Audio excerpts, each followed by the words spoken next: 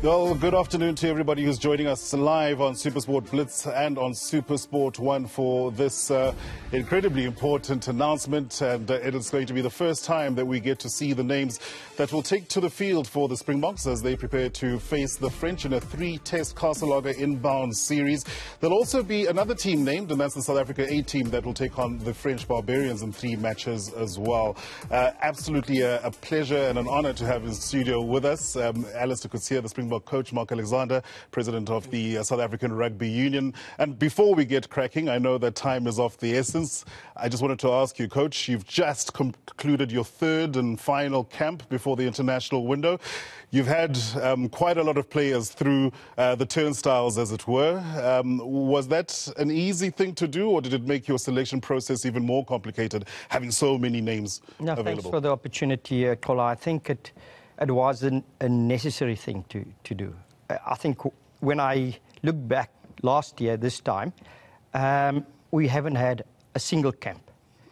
Um, this time around, we I had a look at so many players, and and having a closer look at players, you actually get a different opinion when you work with the players. And some players have really stepped up at the training camps. And it's not just a camp where they came and, and tried to see what the, the Boks are doing.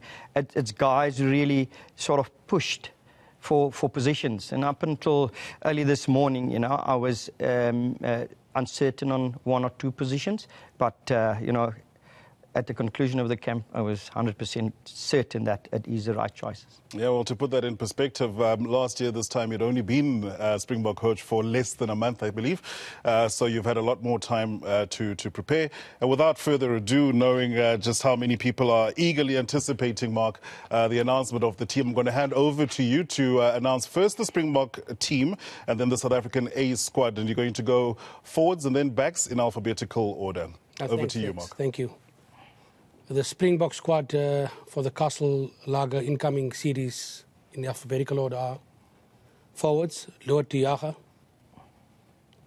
Pieter-Steph du Toit, Ruan Dreyer, Eben Etzebeth, Steven Kitshoff, Siya Kolisi, Jaco Kriel, Frans Malherbe, Malcolm Marx, Bongi Mbonambi, Oupa Mohoje, Franco Mostert, Tendai Beast Mtawarira, Lizo Gqoboka, Coenie Oosthuizen, Chelly Boy Ramapela, Duane Vermeulen, Warren Whiteley.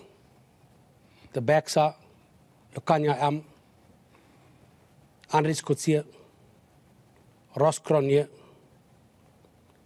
Damian de Francois Hougaard, Elton Jantjies, Jesse Kriel, Dillyn Leyds, Rudy Paige,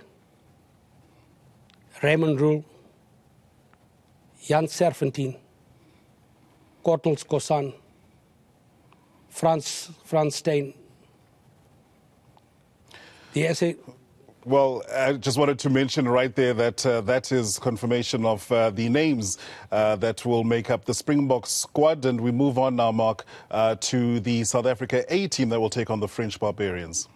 And the team is uh, forwards Ruan Botha, Uzair Cassiem, Chris Cloete, Thomas du Andres Ferreira, Jason Jenkins.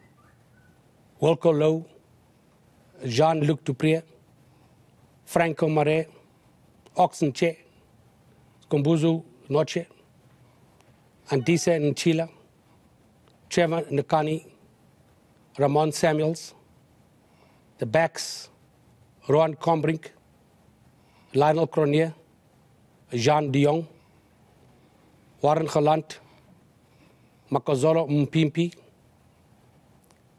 Lionel Mapo, Dewald Devenage, Jambo Lengo, Francois Venter, Jano Vermaak, Errol Foster, Fred Zillinger. Those are the teams.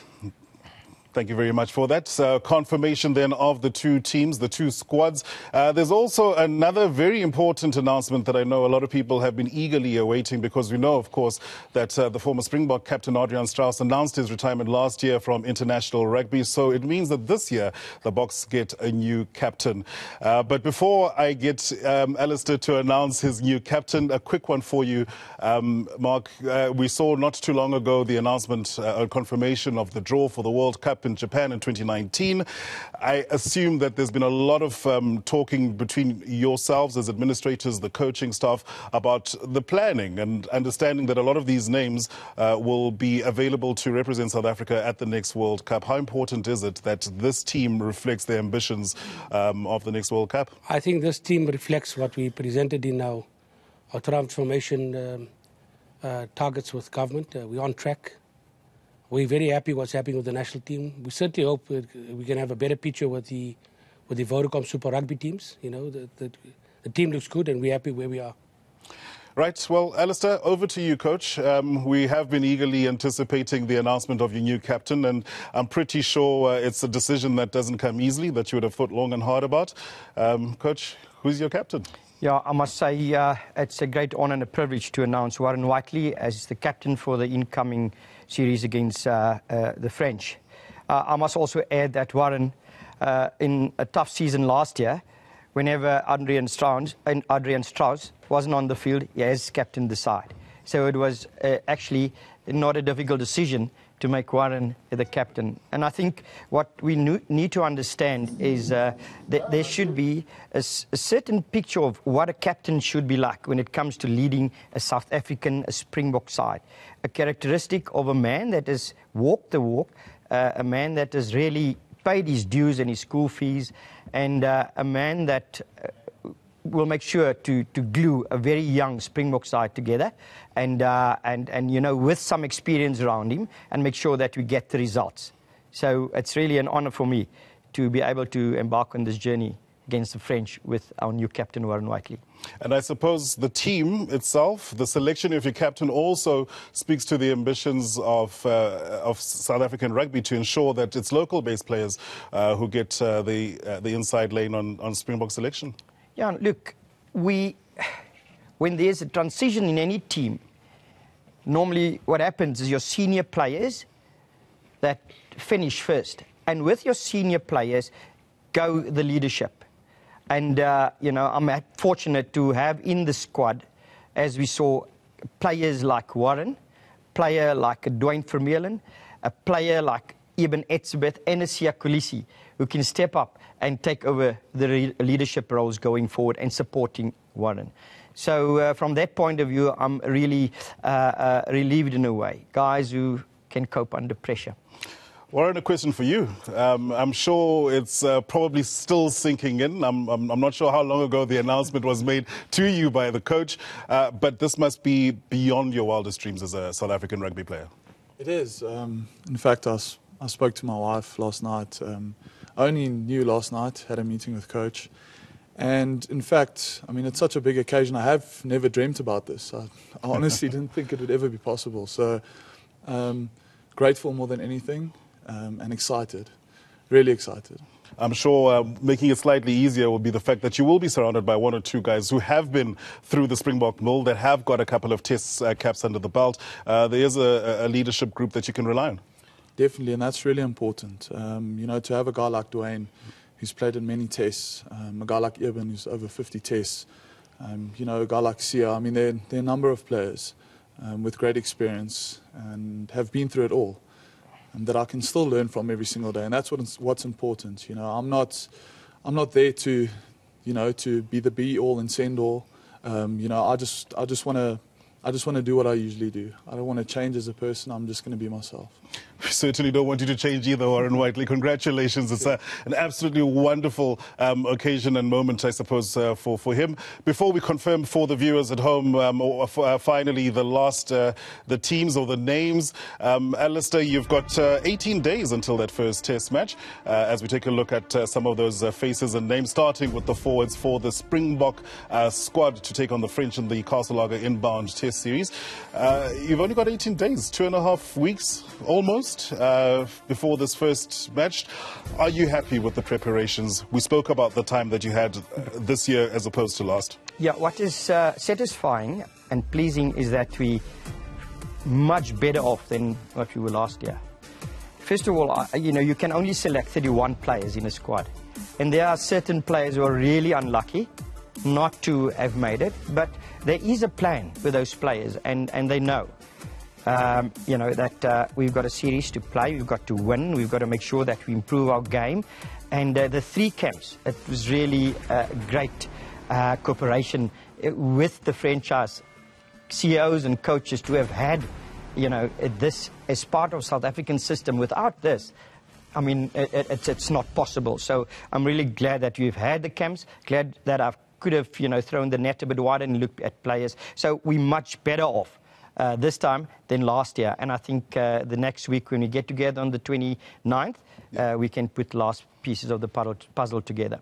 Let's also confirm um, once again for the benefit of our viewers the names that will make up the South Africa A team that will take on the French Barbarians in three matches. How easily movable are these players upwards, coach? Um, is it literally once an injury occurs, you can call on any of these names, or are they a separate entity and should operate as such um, for now? No, 100%. I think that's the whole idea around this. Is we have spoken about a South African DNA that you want to get back into Springbok rugby. What is good about South African rugby, and we should stick to that and get it back. So if you have a squad and a, and, and a Springbok squad, then surely what happens in the A squad must happen in the B squad. And I've had already a chat uh, to Johan Ackermann, and uh, we, we will do very similar things uh, and he will be part of, of the team selection with its squad, and we will discuss players. And that has happened also with the uh, uh, great thing about the Indaba, where I was interactive and, and the Springbok coaching staff with the franchise coaches to discuss certain fundamentals of the game that we need to improve uh, and see that happening at national level. So uh, you know, it, definitely there is merit not to go outside an SAA side yeah. to, to, to, to leapfrog those guys when it, uh, uh, we need that and in, in the Springbok squad. It will come from the SA side. So an opportunity for a lot of youngsters who find themselves in that uh, South Africa A squad uh, and uh, eight uh, uncapped players in the Springbok squad to take on the French as well.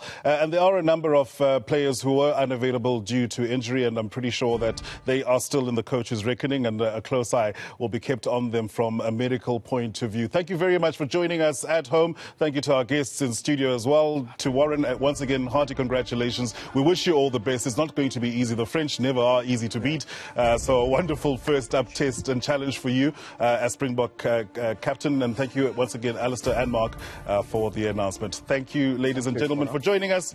Enjoy the rest of your day.